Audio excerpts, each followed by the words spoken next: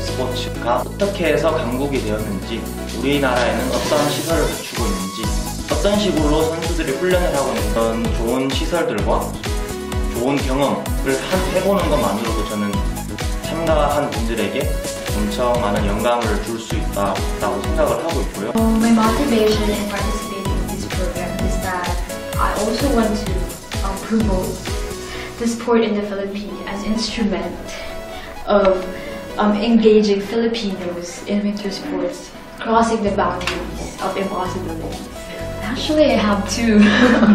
like um, the first one is like Park Hee, the short track speed skater. Um, she was the first ever short track speed skater that I ever seen, and I was really mesmerized by her speed and skills. As well as I am um, inspired by this um, long track speed skater Lee Sung Hoon.